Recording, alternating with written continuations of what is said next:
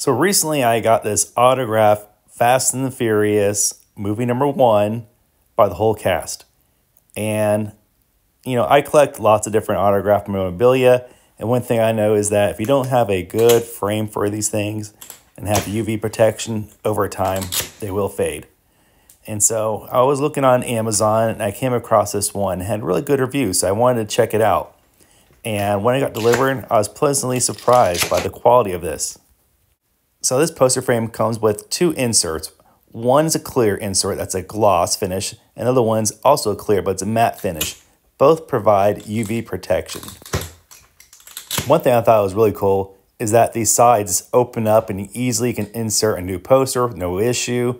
And for me, this poster will stay in here forever, but I could see that if you have a movie room, you want to change things out, this is a perfect poster frame for you. I absolutely recommend this product. I was very, very pleased with it.